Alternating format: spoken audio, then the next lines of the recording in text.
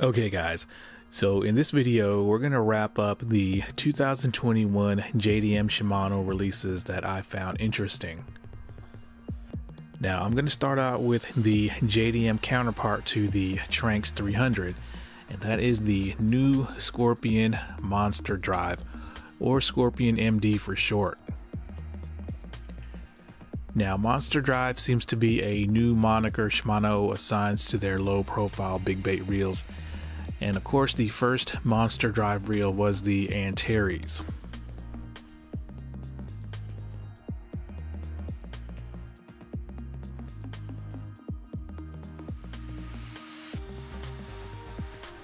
Now, I say this reel is new, but it's based on the grappler reel that has been out for a few years now, which is the same body as the Tranx 300 and the new Curado 300K. Now, as you can see in this video footage, Shimano Pro staffer Jim Murata is out on the ocean launching a big swim bait targeting sea bass. So that means this reel is definitely approved for salt water.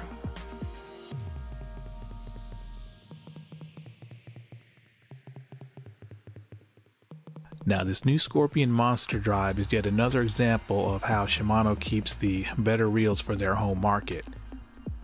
Now this reel is not a JDM version of the new Curado 300K. Based on its price, the Scorpion MD is actually a JDM version of the Tranx 300. Now of course this is subjective, but I think the Scorpion looks more special than the Tranx. It's got the red drag star, the red accents on the spool and spool tension, and the Scorpion will also come with the option of having either a 90 millimeter handle that has the standard Septon grips or a 102 millimeter handle that comes with EVA power grips at no extra cost.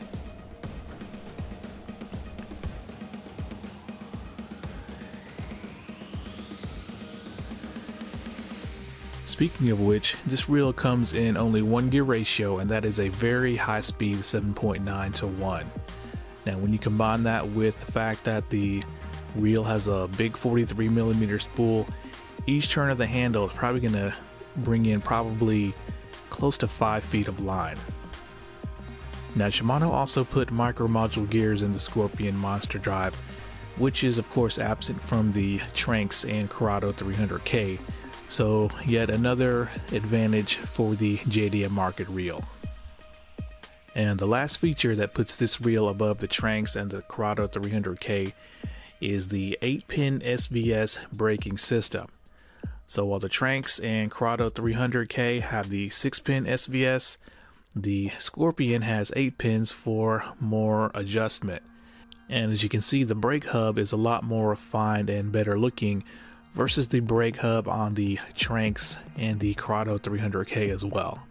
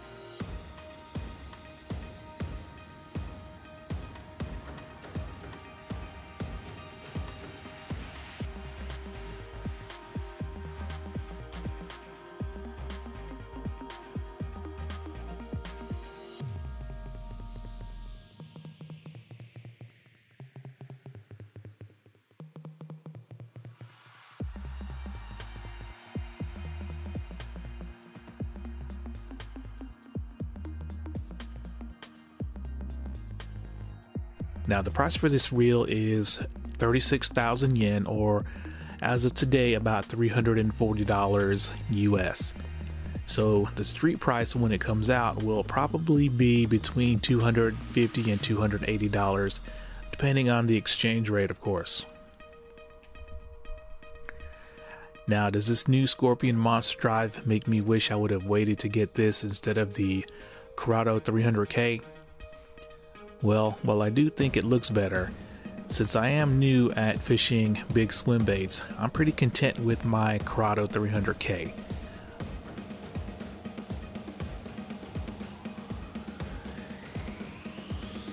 But for the advanced and experienced swim bait anglers, this reel presents a pretty attractive alternative to the popular Tranxes and Lexa HDs that are apparently the top selling swim bait reels.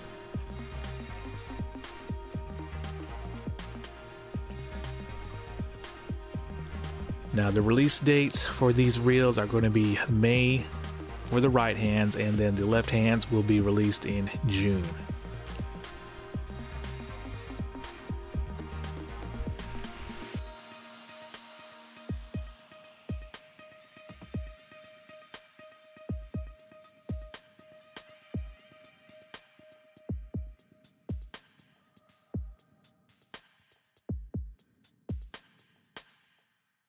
So, the last reel I'm going to cover is the all new Calcutta Conquest round reel. Now, the previous Conquest came out in 2014, so it was about seven or eight years old. Now, by just looking at this new reel, you wouldn't know that it was new, but when you put it side by side against the old model, you can see they've given it new side plates.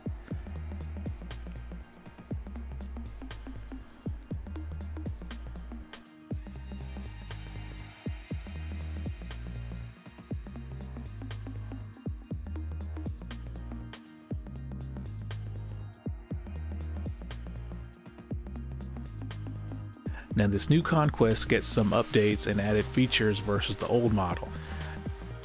Now, the updates include the new narrow MGL3 spool and the new third generation SVS Infinity brake system.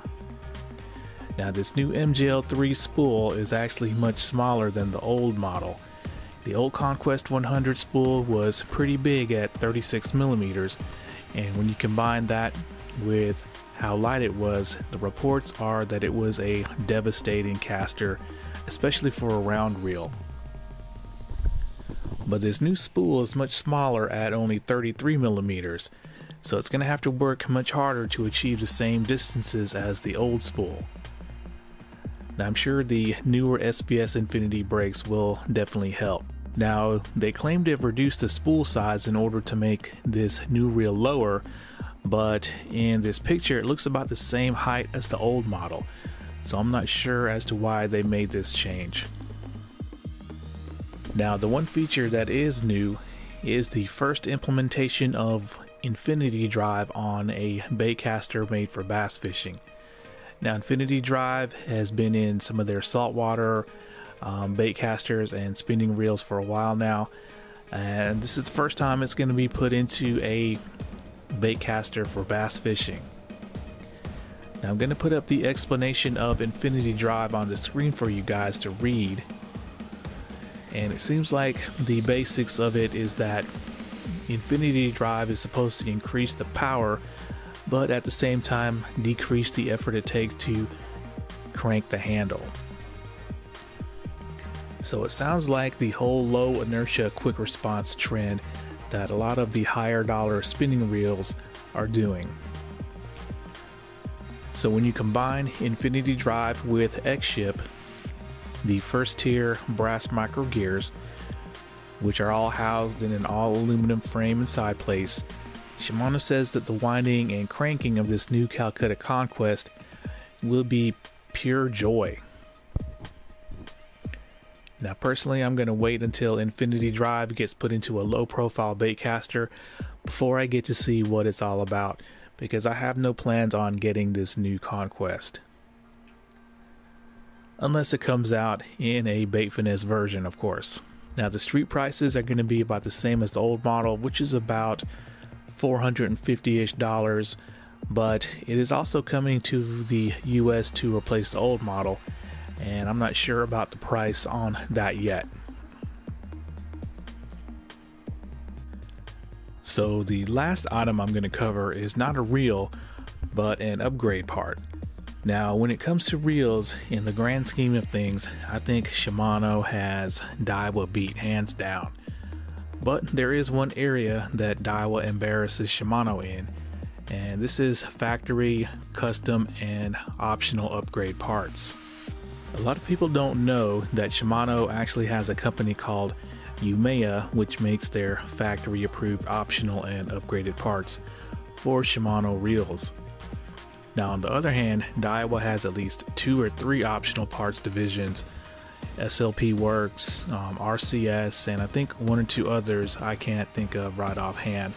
So, when it comes to the factory optional parts to upgrade or customize your reel, Daiwa definitely has way more to offer, and in my opinion, their parts look a lot better and definitely more cutting edge as well versus the Shimano Yumeya offerings. But this year, Yumeya has actually released an optional handle and knob set for Shimano reels that I hope is a sign of things to come. Now, check out the Yumeya Ultra Strong handle.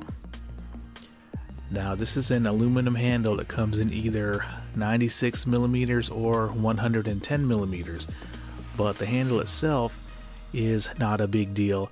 It's the knobs, and especially those knob end caps. Now, they are definitely emulating the DRT Varial handle and knob set with this. Now, as you can see, the end caps on these power style knobs have a very aggressive and stylish design that resembles sports car rims. Now, I believe they should be made of machined aluminum. And speaking of the knobs, they are bigger than the average Shimano power knob, but the more important feature of these knobs is that they appear to be made of the super sticky and super soft Septon rubber material instead of EVA foam.